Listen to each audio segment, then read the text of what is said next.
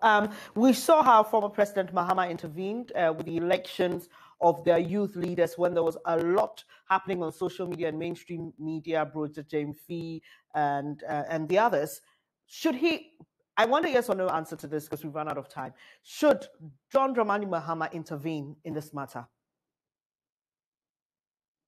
Prof? Yeah, hello.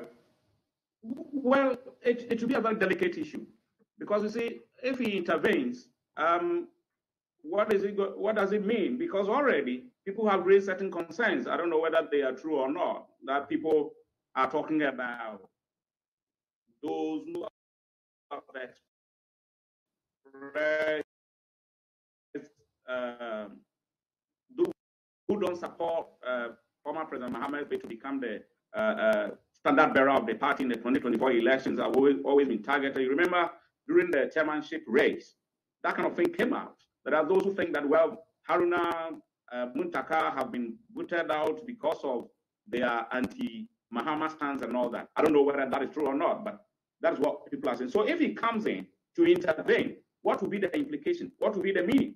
Okay. Mm. So for me, instead of he intervening as an individual, I would prefer that the leadership of the party will identify the various interest groups, former members of parliament. I've heard uh, Cletus Avoka has spoken. Um, um, other people have spoken, other elite groups in the party.